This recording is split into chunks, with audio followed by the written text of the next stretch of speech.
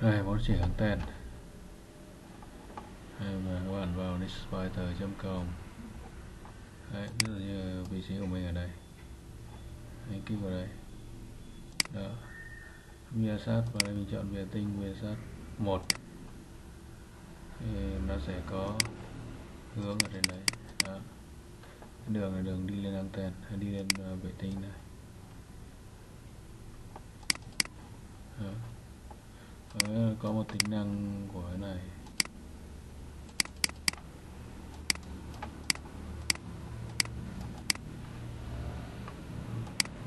Đấy, nó hiển thị này. đây là địa chỉ của mình đó.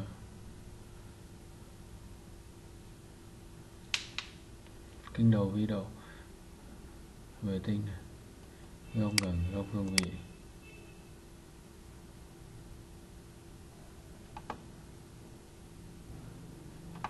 Và ở dưới này, mình thấy này, góc gần góc hướng vị còn đây là góc phần cực đó.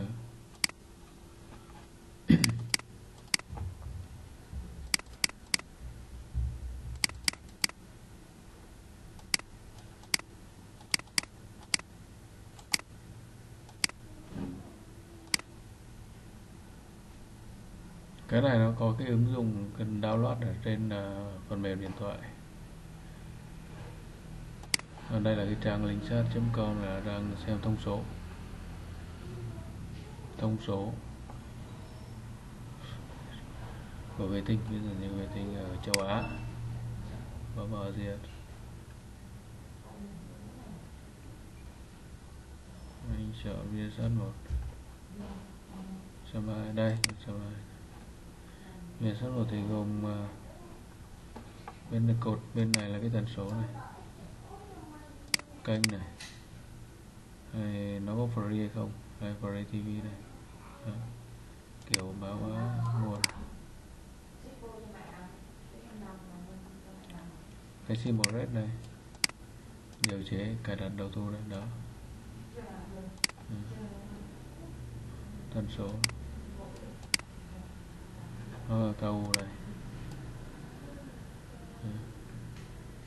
những cái mà có S là không free đây có đây free